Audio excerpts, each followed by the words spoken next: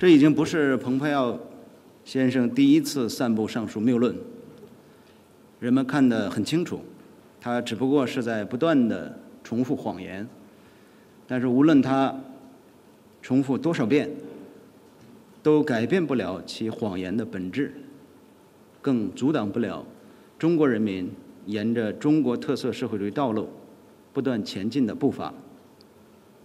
我们奉劝个别美国政客收起这套骗人的把戏，给自己留下一点颜面。